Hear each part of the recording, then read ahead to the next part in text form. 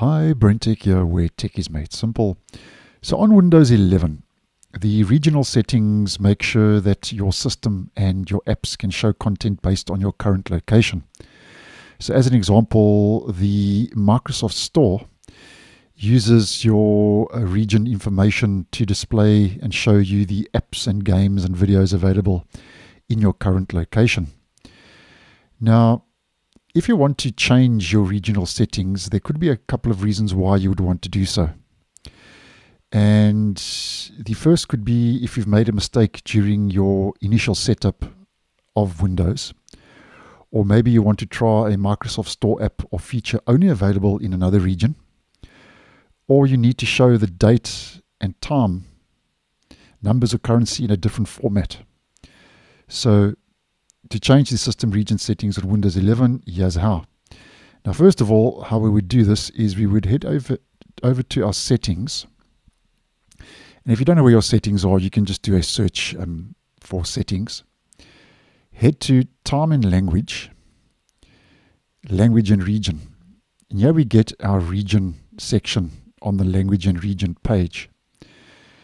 Now, under the region section, um, you need to choose a new location. So as an example, under country and region, I'm going to head down to the bottom. You can choose any region, obviously, depending on your own choice and preference.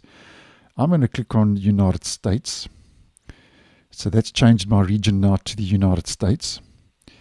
And you can also change your regional format. Windows and some apps format dates and times based on your regional format. So once again, I'm going to head down to English United States. And when I change this, you'll see my date and time change at the bottom. So there we go. And we can see my date and time has also changed to the US regional format. And once you've completed the steps, as you can see, the system will apply the new region settings affecting the operating system and apps, including the Microsoft Store. So if I head over to the Microsoft Store now, you will see because I've changed from my current location, which is South Africa, to United States, I get a new feature in the Microsoft Store that isn't available in my region, and that's the AI Hub, which I have posted on previously um, in the channel and on the channel. So you can just do a search for that if you want more info regarding the AI Hub. So that's one benefit of obviously changing your region and your regional format. And this is very handy, as mentioned, if there's a new app, app, limited to a specific region, you can then change your region settings, as mentioned, to make the app available for download through the Microsoft Store. And that's just one example. And to set everything back, you would just reverse the process, head back to your region settings.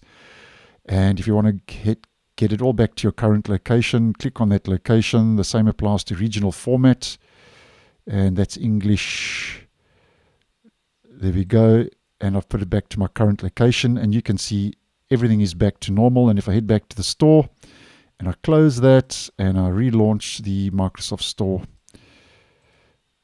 you can see that the AI Hub has also been removed because it's not available currently in my current region and location. So just a quick video to show you how you can change your region settings on Windows 11 if you would want to do so. So thanks for watching and I'll see you in the next one.